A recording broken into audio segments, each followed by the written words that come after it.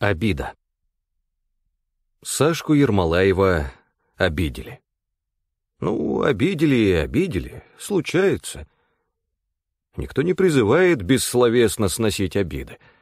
Но сразу из-за этого переоценивать все ценности человеческие, ставить на попа самый смысл жизни — это тоже, знаете, роскошь.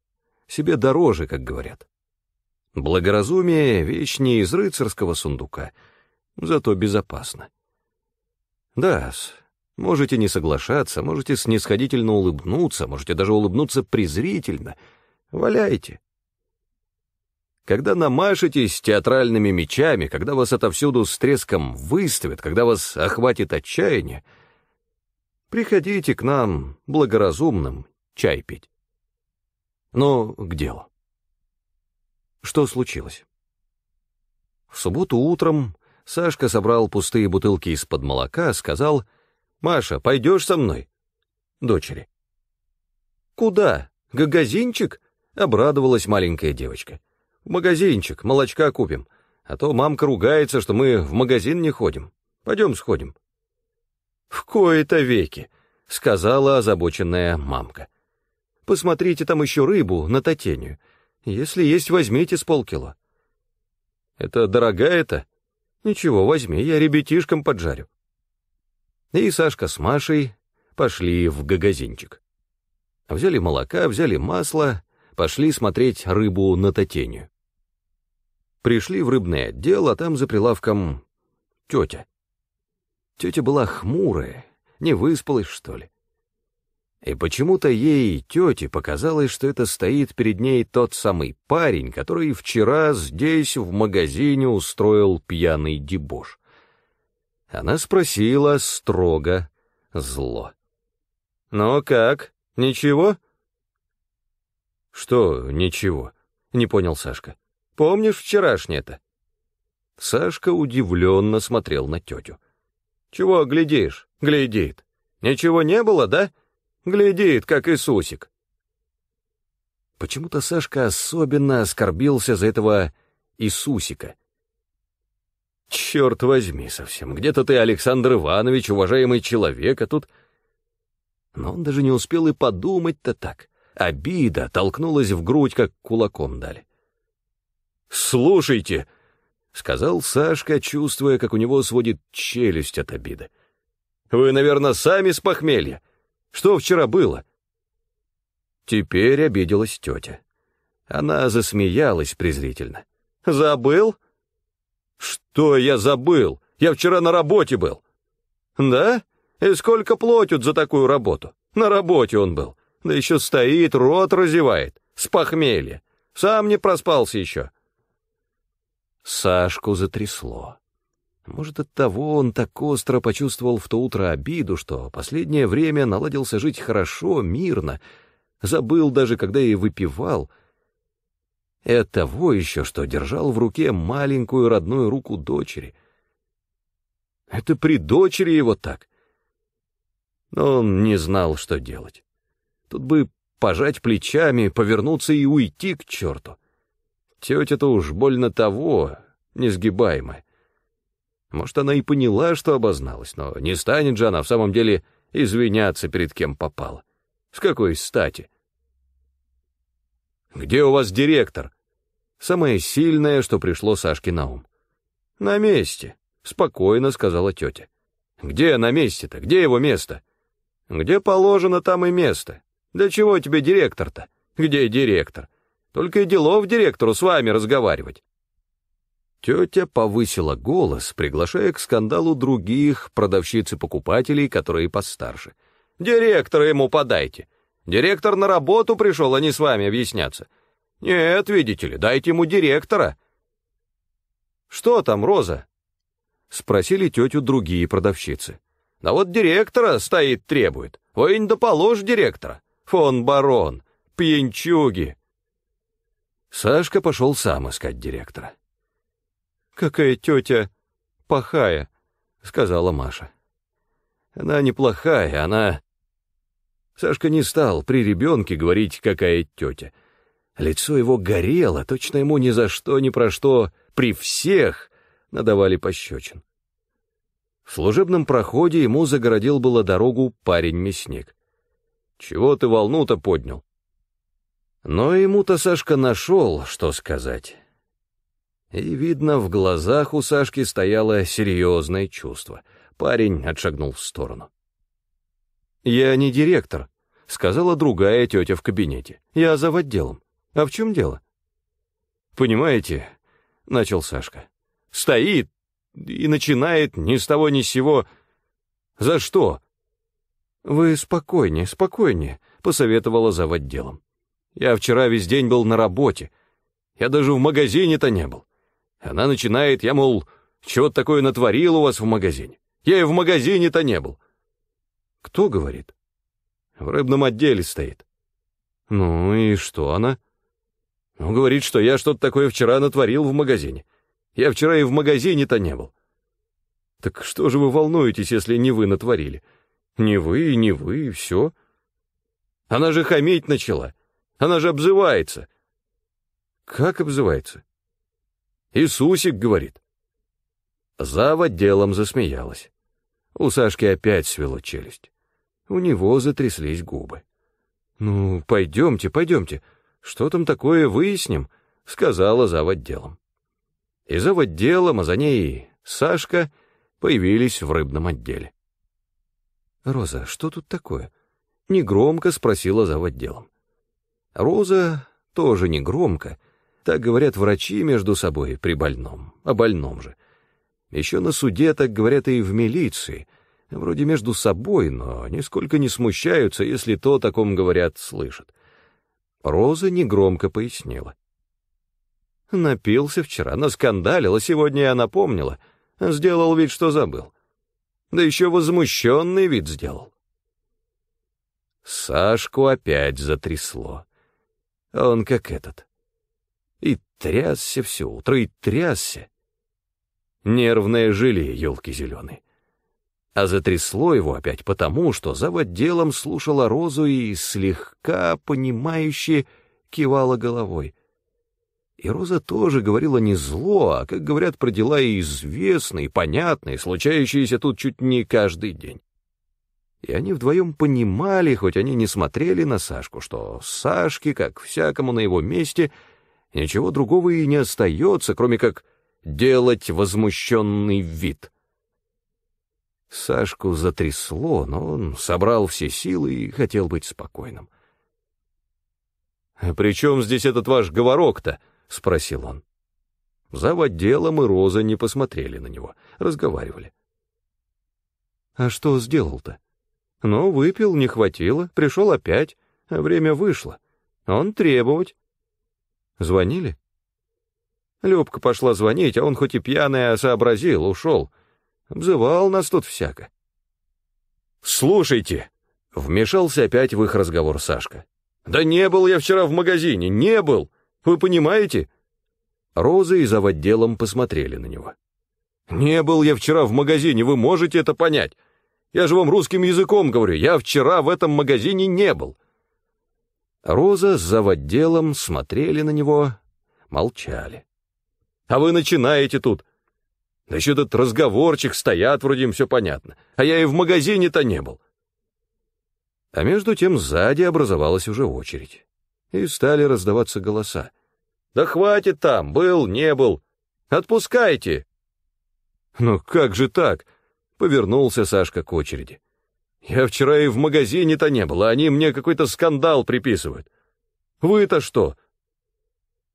Тут выступил один пожилой в плаще. Хватит! Не был он в магазине. Вас тут каждый вечер не пробьешься. Соображают стоят. Раз говорят, значит, был. «Что вы, они вечерами никуда не ходят», — заговорили в очереди. «Они газеты читают». Стоит, возмущается. Это на вас надо возмущаться, на вас надо возмущаться-то. «Да вы что?» Попытался было еще сказать Сашка, но понял, что бесполезно.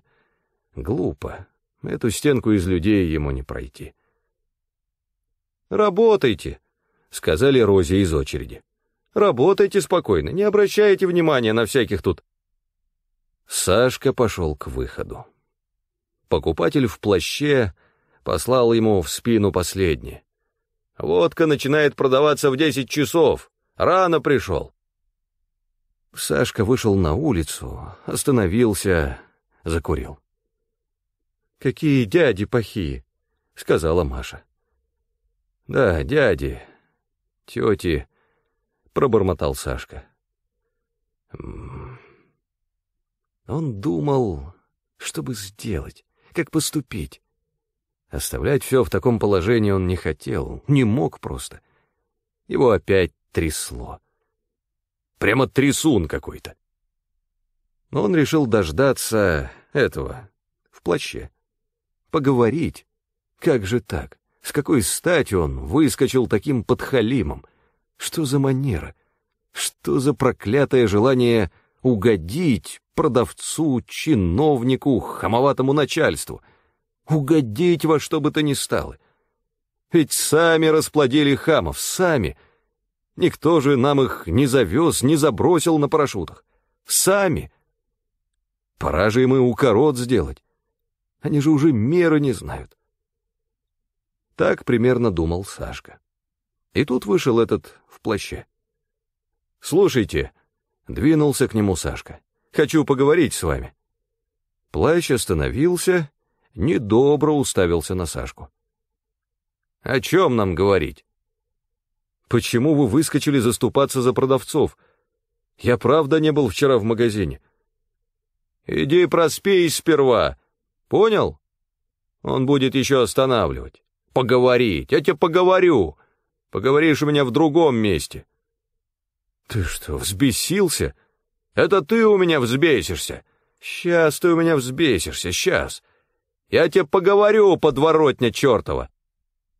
Плащ прошуршал опять в магазин, к телефону, как понял Сашка. Заговор какой-то. Сашка даже слегка успокоился и решил не ждать милиции. Ну ее. Один, может, и дождался бы, интересно даже, чем бы все это кончилось. Они пошли с Машей домой. Дорогой Сашка все изумлялся про себя, все не мог никак понять, что такое творится с людьми. Девочка опять залопотала на своем маленьком смешном языке. Сашку вдруг изумило и то, что она, крохотуля, почему-то смолкала, когда он объяснялся с дядями и тетями, а начинала говорить лишь после того и говорила, что дяди и тети плохие, потому что нехорошо говорят с папой. Сашка взял девочку на руки, прижал к груди. Что-то вдруг аж слеза навернулась. «Кроха ты моя! Неужели ты все понимаешь?» Дома Сашка хотел было рассказать жене Вере, как его в магазине, но тут же и расхотелось. «А что, что случилось-то?» «Да ладно, ну их, нахамили и все. Что, редкость диковинная?» Но зато он задумался о том человеке в плаще. Ведь мужик долго жил. И что осталось от мужика? Трусливый подхалим. Сразу бежать к телефону, милицию звать. Как же он жил? Что делал в жизни? Может, он даже и не догадывается, что угодничать никогда, нигде, никак нехорошо, скверно. Но как же уж так надо прожить, чтобы не знать этого?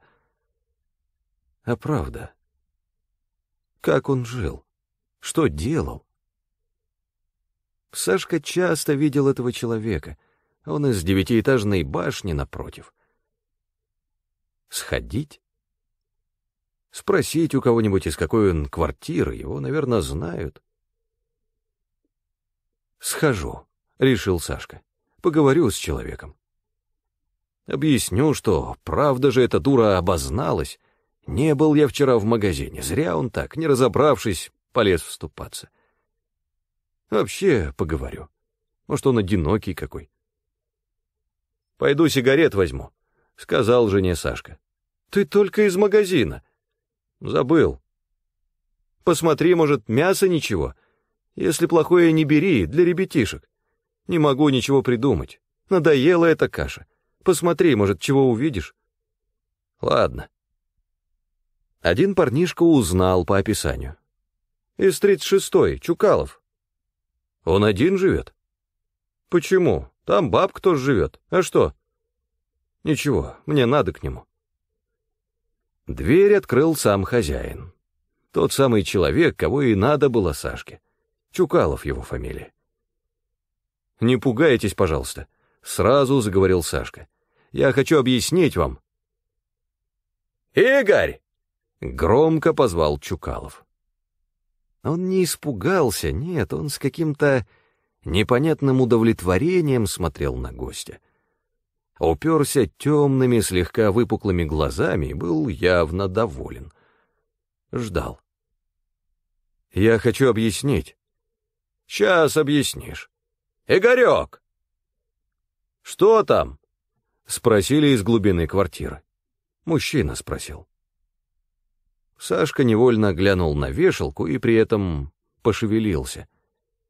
Чукалов то ли решил, что Сашка хочет уйти, а вдруг цепко, неожиданно сильной рукой схватил его за рукав. И темные глаза его близко вспыхнули злостью и скорой, радостно скорой расправой. Сашка настолько удивился всему, что не стал вырываться, только пошевелил рукой, чтобы высвободить кожу, которую Чукалов больно защемил с рукавом рубашки. «Игорь!» «Что?» Вышел Игорь, наверное, сын, тоже с темными, чуть влажными глазами. Здоровый, разгоряченный завтраком, важный.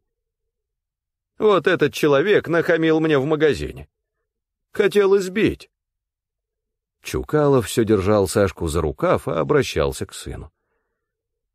Игорь уставился на Сашку. «Да вы пустите меня, я ж не бегу», — попросил Сашка. И улыбнулся. «Я ж сам пришел». «Пусти его», — велел Игорь и вопросительно, пытливо, оценивающе, надо думать, смотрел на Сашку. Чукалов отпустил Сашкин рукав. «Понимаете, в чем дело?» Как можно спокойнее интеллигентнее заговорил Сашка, потирая руку. «Нахамили-то мне, а ваш отец...» «А мой отец подвернулся под горячую руку, так?»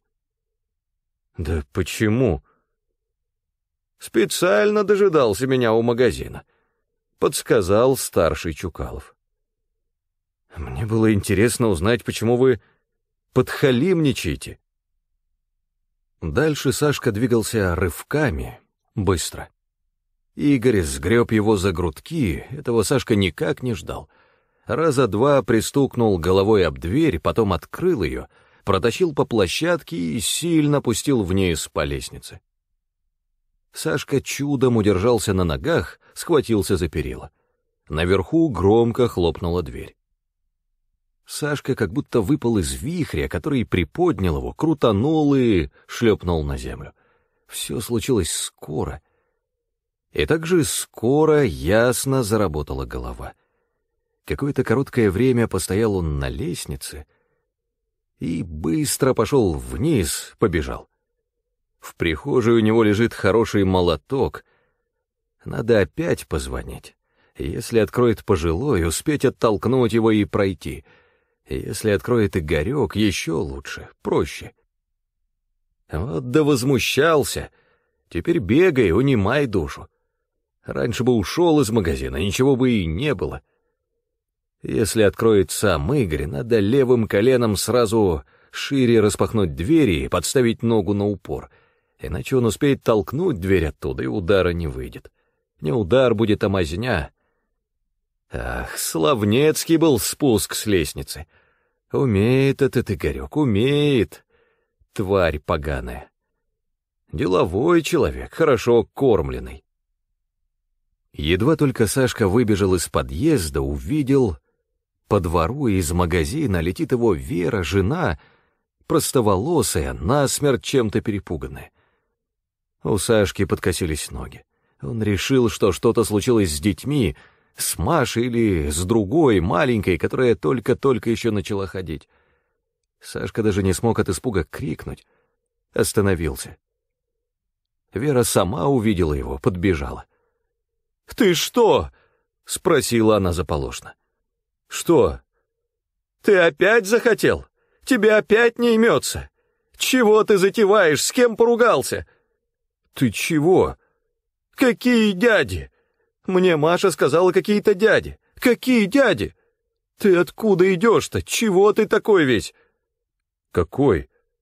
«Не притворяйся, Сашка, не притворяйся, я тебя знаю. Опять на тебе лица нету. Что случилось-то? С кем поругался?» «Да ни с кем я не ругался. Не ври! Ты сказал, в магазин пойдешь? Где ты был?» Сашка молчал. Теперь, пожалуй, ничего не выйдет. Он долго стоял, смотрел вниз, ждал. Пройдет само собой то, что вскипело в груди, или надо через все проломиться с молотком к Игорю. «Сашка, милый, пойдем домой, пойдем домой, ради бога!» Взмолилась Вера, видно, чутьем угадавшая, что творится в душе мужа. «Пойдем домой, там малышки ждут, я их одних бросила. Плюнь, не заводись, не надо. Сашенька, родной мой, ты о нас-то подумай». Вера взяла мужа за руку. «Неужели тебе нас-то не жалко?» У Сашки навернулись на глаза слезы. Он нахмурился, сердито кашлянул. Достал пачку сигарет, вытащил дрожащими пальцами одну, закурил. «Вон руки-то ходуном ходят. Пойдем». Сашка легким движением высвободил руку и покорно пошел домой. Эх, трясуны мы, трясуны.